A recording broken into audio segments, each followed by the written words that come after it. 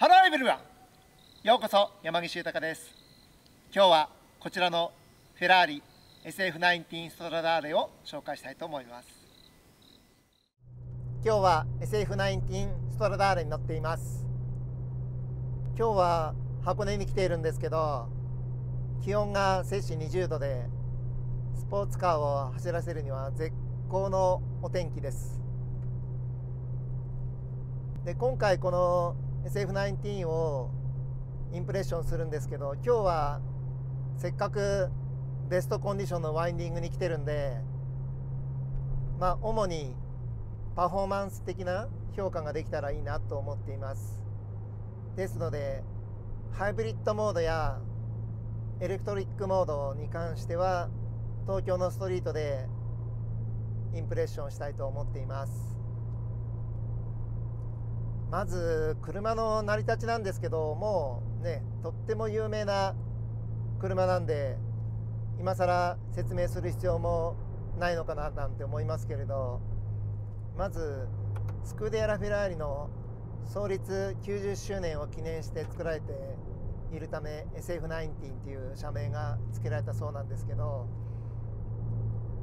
ちょうどね2019年のフォーミュラ1のマシンの名前も SF90 なんですよね。ですから過去のフェラーリというモデルとはちょっとねかなりちょっとどころかかなり違ったテイストの車に仕立てられてるはずでまずインテリアがフルデジタル化されたんですよね。ですからスピードメーターもアナログからデジタルに変わりそしてステアリングの周りにねまあ、最近のモダンフェラーリは全部このシステムに統一されてますけどタッチパネルが採用されてました。まあこのタッチパネルに関しては僕はすごく好きで初めて乗った時には当然ね慣れが必要なんでいちいちステアリングに視線を落として確認してあげなきゃいけないんですけど慣れちゃうとねこのシステムはかなり使えると僕的には思っています。でパフォーマンス的にはエンジン単体で780馬力。でモーターフロントに2機のモーターとリア1機のモーター合計で1000馬力っていうものすごいパフォーマンスなんですけれどただねあのー、やはりハイブリッドシステムを搭載したことによる重量増があり実はありましてこの重量増のおかげで車検証上の車重が1800キロっていう表記なんですね。ですから1000馬力あるんですけど車重は1.8トンあるっていう。まあそれをこうね頭の中でちょっとイメージングするとまあ、相当タイヤ依存症の車なのかなと思っています。まあ、そこはね今の現代のこの最先端のエレクトリックデバイスを駆使して車をコントロールしているっていうことなんできっとものすごく速いしそしてものすごく運転しやすい車なんだろうなっていうふうに想像しているんですけどじゃあ実際にね本当にアクセル全開にして走らせたらどんなフィーリングを感じているのかどんなキャラクターを持っているのかその辺りを僕なりに評価できたらいいなと思っています。今ねあのー、パフォーマンスモードにセットはしてるんですけど ESC はウェットモードで走っています。このウェットモードで走ってる限りはこのペラッペラのねあのシートスポンジしかついていないフルバケットタイプのシートなんです。けどこのシートに座っていても、まあ、そんなに不快な感じはないですね。でこちらのお車はフィオラナセットパッケージがセットされてるんでサスペンションもかなり締め上げられていてそして空力的にもハイダウンホス仕様に変わっています。で車重も30キロレスになってるそうなんで、まあ、この軽くなった車重と締め上げられたサスペンションのバランスもどんな感じなのかっていうのがとても楽しみです。アセットフィオラのパッケージっていう名前なんで当然ねサーキット走行に適した仕様になっているはずですから ESC をレースモードで走らせた時はもちろんハンドリングはねバッチリサーキットに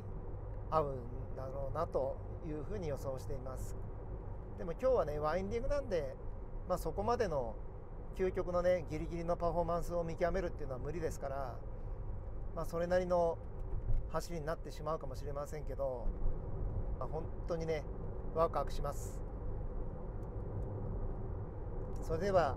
徐々にペースアップしてってみましょう。まずねこの昔ながらのシフトゲートっぽいデザインになっているこのコントロールをマニュアルモードに変更します。さて行ってみましょう。おおあのー、すごくねシャシ安定してますね。コーナーはねほぼオン・ザ・レールで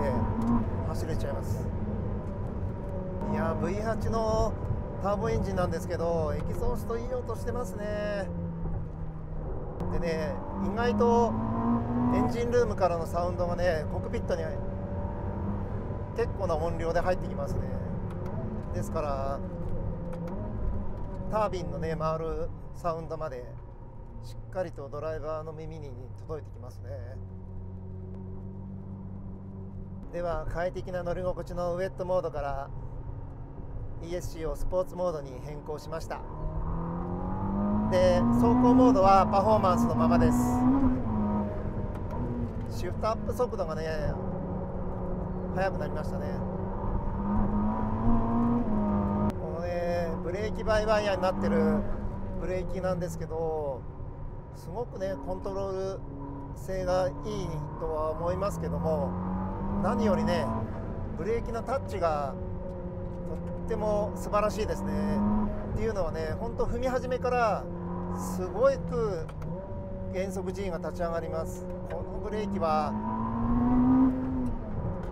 これだけのねパワーを持ってる車には絶対に必須ですね。ハンドリングはね正直言ってどうこう語るレベルじゃないかもしれないですね。っていうのは全くアンダーステアも出ないですしじわじわっとねミリ単位で切り込んでいってあげるその動きに対してものすごくリニアに反応してくれますエジンもね4000回転も回ってたらロケットのような加速しますね。これはねこの3つのモーターがもたらしてくれる恩恵でもちろんターボラグなんか全く感じないですし思わずね 黙っちゃうぐらい速いですね。でねやっぱりダウンフォースが結構聞いてることを体感できますね。すごく車がねオン・ザ・レールで安定してます。あっという間に5速まで入っちゃいますね。でねロールほぼしてないって感じですね。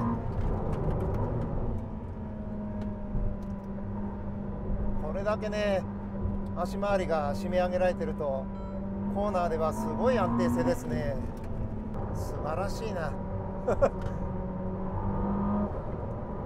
さて次はスポーツモードからレースモードに変更して走ってみます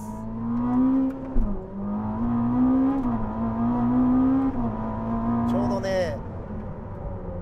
シフトアップのタイミングを7800ぐらいで上げてあげた方が加速はいいですねまあでもねワインディングではフルスロットルまで開けられないですねパワーがありすぎて。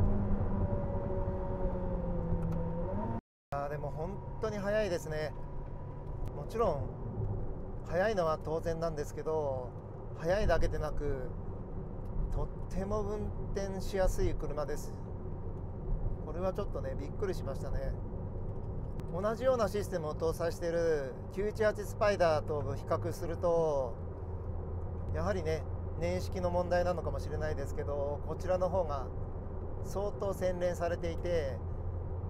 フロントリアのモーターの介入をドライバーが感じ取るのは本当に難しいですね。むしろそのぐらい自然にパワーがきちっと出てくれてで何よりねこの一番感動したのは実はブレーキでした。本当に高い車速からあっという間に減速してくれるこのブレーキがあってこそのこの線馬力を活かせるっていうねそういう仕立てになっていることは確認できましたね、まあ、やっぱりさすがにストリートなんで本気のね走りはできませんけどそれでもこれだけのね高いポテンシャルを全く不安なくむしろちょっとね微笑みながらでもドライブできちゃう。SF19 ストラダーレ。この実力はちょっととんでもないレベルに仕上げてきたっていうねことを確認できました。まあ、特にアセットフィアラのパッケージなんでこういうね攻める走りに関しては完璧に近いですね。結構足回りが締め上げられていてロール量もかなり少なめなんでもう少し路面のアンジュレーションにステアリングが捉えたりするのかなと思ったんですけどそういったね素振りは全くと言っていいほどないですね。さて最後にレースモードからトラクションコントロールオフを飛ばしての ESC オフいってみましょう。やっぱりね ESC オフにしてもね四輪駆動なんでトラクションのかかりは完璧ですね。とっても安定してます。本当にノーズの入りがいいな。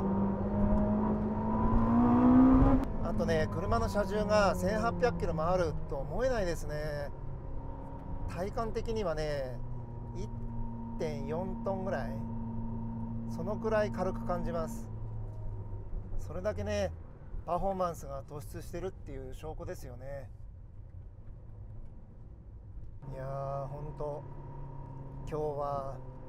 とんでもない車に乗せてもらいました。正直ね予想していたよりもはるかにはるかに速い車でした。いやまあこれはサーキット持ってかないとダメですね。1回はサーキットでフルのポテンシャルを味わってみたいです。けれどやっぱりね高価なお車なんでねえ。少し前に 296GTB 走らせましたけどその時感じたね人馬一体感をまさかこのね SF19 でも同じフィーリングを味わえるとは思わなかったですね。ラフェラーリにとほぼね同じサイズ感のある車なんでやっぱりワインディングではちょっと持て余すのかなと思ってたんですけど予想では。全然そんなことなくて素晴らしい。とっても楽しめるハンドリングを味わうことができました。最高です。Thank you so much 今日も最後まで見ていただいてありがとうございました。また次回もお楽しみに。